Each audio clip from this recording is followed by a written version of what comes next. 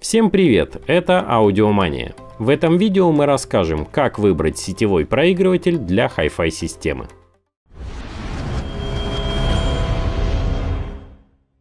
Если вы выбираете сетевой проигрыватель для прослушивания собственной фонотеки, хранящейся на компьютере, жестком диске или домашнем сервере, особое внимание необходимо уделить совместимости форматов. Файлы MP3, а также FLAC и WAV с CD качеством воспроизводят практически все проигрыватели. Но если ваши компакт-диски сохранены в виде образов, а не отдельных файлов, или вы используете менее популярные кодеки вроде APE или WAV-PAC, это может стать проблемой для некоторых сетевых проигрывателей. Кроме того, далеко не все модели справляются с файлами, имеющими разрешение выше, чем 24 бит на 192 кГц. Особенно внимательными нужно быть обладателем фонотеки в формате DSD. Воспроизвести ее без потери качества можно только в том случае, если сетевой плеер имеет нативную поддержку данного формата.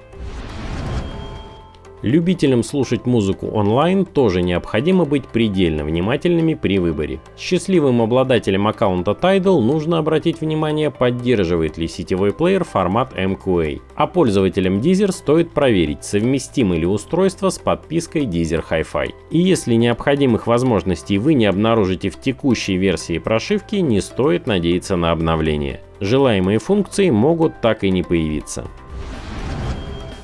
Сетевые проигрыватели, обеспечивающие базовый уровень качества, могут иметь внешность совершенно далекую от канонов Hi-Fi. Но если вы хотите объединить стереосистему и мультирум, подходящее решение скорее всего будет выглядеть именно так. Сетевые проигрыватели классического форм-фактора имеют свои плюсы. Устройства со встроенным цифроаналоговым преобразователем могут иметь дополнительные входы и регулятор громкости, выступая тем самым в роли предварительного усилителя. Существуют сетевые плееры, несущие на борту и усилитель мощности. Таким образом, есть шанс существенно упростить конфигурацию стереосистемы. В качестве бонуса можно получить также CD-привод, встроенный жесткий диск для хранения фонотеки, модуль Bluetooth с хай-файными кодеками, поддержку AirPlay и даже совместимость с экосистемой Room, о которой мы рассказывали в одном из наших видео. Таким образом, сетевой плеер можно подобрать под любую конфигурацию системы и совершенно различные потребности.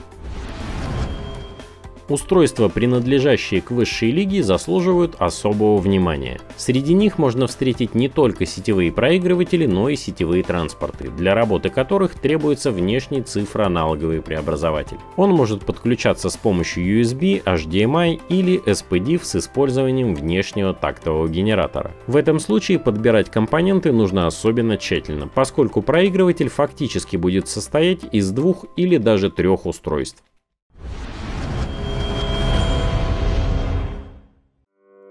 Послушать сетевые проигрыватели разных типов вы можете в салонах и шоурумах аудиомании, а выбрать подходящую модель удобно на сайте или воспользовавшись услугой консультантов по телефону. Подписывайтесь на канал, ставьте лайки, нажимайте на колокольчик, чтобы не пропустить новые видео.